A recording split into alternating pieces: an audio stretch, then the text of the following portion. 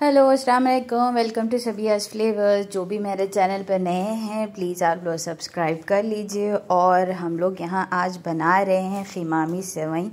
बहुत टेस्टी और बहुत यमी और बहुत जल्दी बनने वाली रेसिपी है और ये ईद स्पेशल रेसिपी है। और इसके लिए हम यहाँ ले रहे हैं एक बड़ा सा पैन जिसमें मैं यहाँ डाल रही हूँ fifty grams of pure ghee, असली घी, और मैं यहाँ डाल रही हूँ मखाना हाफ़ कप तो इसको आप आराम से सोटे कर लीजिए for thirty to one thirty seconds to one minute हल्का सा बादामी कलर जब तक नहीं आए, तब तक आप इसको फ्राई करिए। ये देखिए, यहाँ बादामी कलर आ गया है। अब इसको निकाल कर मैं यहाँ डाल रही हूँ ड्राई डेट्स छुआड़ा। ये मैंने छः से सात या पाँच से छः आप ले सकते हैं। उसके बाद यहाँ पर जाएगा सारे ड्राई फ्रूट्स आपके घर में जो भी ड्राई फ्रूट्स अवेलेबल है, बादाम, काजू, पिस्ता, किशमिश, आप अपने हिसाब से आप डालिए। और यहाँ पर ड्राई फ्रूट की क्वांटिटी आप अपने हिसाब से कम और ज़्यादा कर सकते हैं। ये देखिए, मैंने यहाँ लास्ट में किशमिश डाल रही हूँ रेजेंस इसको आप अच्छे से फ्राई कर लीजिए सेम बादामी कलर नहीं आ जाता, तब तक धीमी आँच पे करना है। अगर हाई फ्लेम पे करेंगे तो सारे ड्राई फ्रूट जल जाएँगे।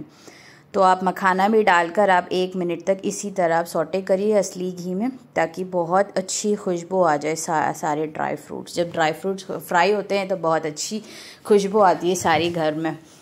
तो इसी तरह आप ड्राई फ्रूट्स फ्राई करके निकाल लीजिए। और फिर उसी ऑयल में आपको यहाँ डालना है इलायची और क्लव्स इसको आप डालिए। इसके बाद आफ्टर थर्टी सेकेंड्स आपको यहाँ पर डालना है शुगर मैं यहाँ शुगर ले रही हूँ सिक्स हंड्रेड ग्राम्स और मैं सेवी लिया था मैंने two hundred grams make sure यहाँ पर one is to three ratio follow करना है। जब आप सेवी लाइक टू हंड्रेड ग्राम्स ले रहे हैं तो आपको शुगर यहाँ पर सिक्स हंड्रेड ग्राम्स लेनी होती है। तो शुगर मैंने डाला है और 800 हंड्रेड एम ऑफ़ वाटर मैं डालकर इसको आराम से मैं 15 मिनट तक इसको बॉईल करने रख दिया था। आप देखिए इस तरीके से एक चाशनी, ये सिंगल सिंगल स्ट्रिंग आनी चाहिए। एक तार की चाशनी जिसको बोलते हैं, वैसा आना चाहिए। जब तक ये शुगर सिरप हमारा थोड़ा सा थिक हो जाएगा, तब आप यहाँ पर सारे ड्राई फ्रूट्स यहाँ डाल दीजिए, जो भी हमने फ्राई करके रखा था। ये देखिए, इसके बाद यहाँ पर डालिए मिल्क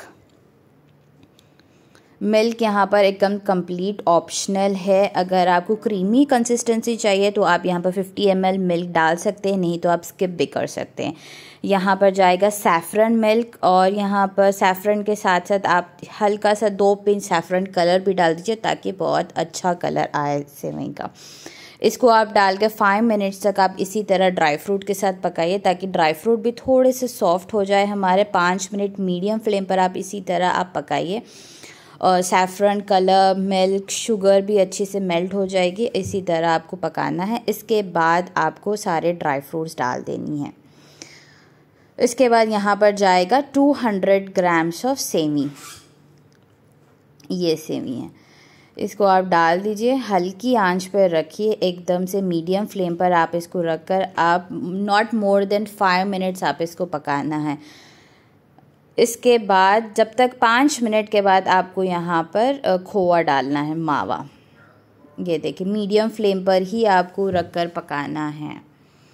पाँच मिनट से ज़्यादा आप सेवई नहीं पकाना है। यहाँ पर, मैं यहाँ पर डाल रही हूँ फिफ्टी ग्राम्स ऑफ़ खोया।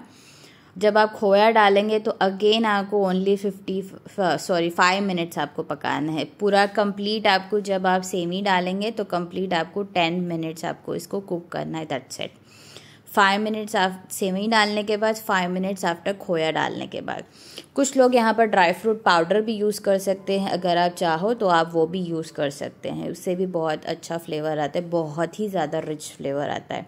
और जिसके पास यहाँ पर खोया या मावा नहीं मिलता है तो आप कंडेंस मिल्क मिल्क मेड भी यूज़ कर सकते हैं हाफ़ अ टेन ये देखिए, मेरे यहाँ पर ऑलमोस्ट सेवई रेडी हो रही थी। आप थिकनेस आप देख लीजिए। जब आप स्टव ऑफ़ करेंगे तो मेक श्योर sure कि शुगर सिरप थोड़ा सा बाकी रहे लिक्विड ही थोड़ा सा कंसिस्टेंसी रहे, क्योंकि ये जब ठंडी हो जाती है सेवई तो सारा शुगर सिरप सोख कर लेती है।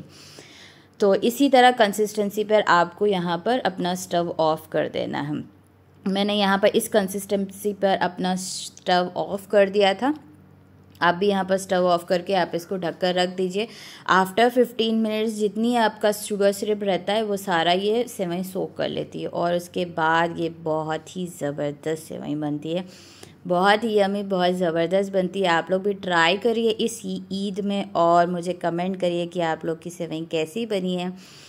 और बहुत मज़े मज़े की रेसिपीज़ लेकर आऊँगी इन ईद में। और देखते रहिए मेरा channel Thanks for watching. Thank you. Allah Hafiz. Take care. Bye bye.